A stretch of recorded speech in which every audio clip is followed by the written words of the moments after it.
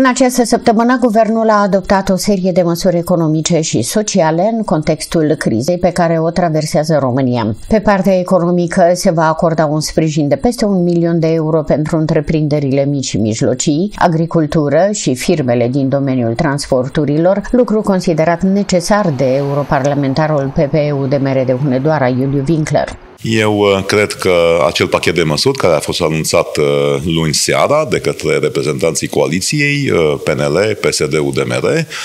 este foarte important pe de o parte și foarte necesar. Este un pachet echilibrat pentru că dacă numărăm măsurile care au fost anunțate, vedem aproximativ 15 măsuri cu caracter activ, adică ne adresăm întreprinderilor mici, întreprinderilor care au nevoie de finanțări de peste un milion de euro, deci celor mijlocii, ne adresăm adresăm uh, firmelor de transport care sunt în dificultate, dar ne adresăm și agriculturii cu niște proiecte. Unele nu sunt noi neapărat, dar ele sunt foarte necesare acum în contextul războiului. Inflația a depășit 10%,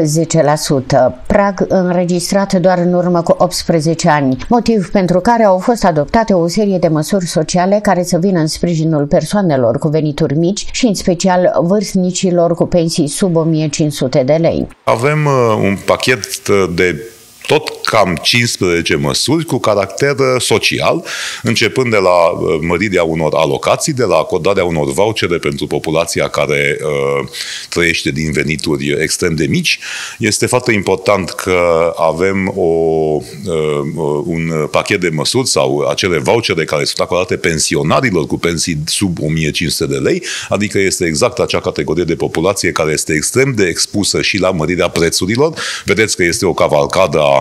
a scumpirilor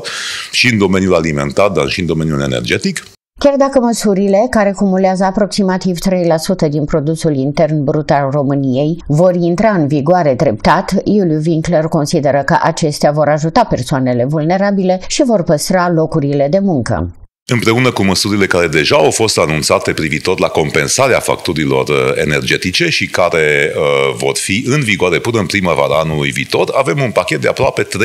din produsul intern brut al României. Cu siguranță că nu mâine dimineață vor intra în vigoare toate aceste măsuri. Avem o planificare, guvernul ne-a anunțat uh, măsuri care intră în vigoare de la 1 mai, apoi 1 iunie. Uh, trebuie adoptate uh, uh, acele legi, respectiv ordonanțe sau hotărâri de guvern care să funcționalizeze aceste măsuri. Eu sunt extrem de optimist uh, de faptul că uh, prin pachetul social adresăm exact oamenii care au cea mai mare nevoie, iar prin pachetul economic uh, vom încerca să menținem și să susținem funcționarea firmelor și păstrarea locurilor de muncă pe care numai economia reală poate să o facă.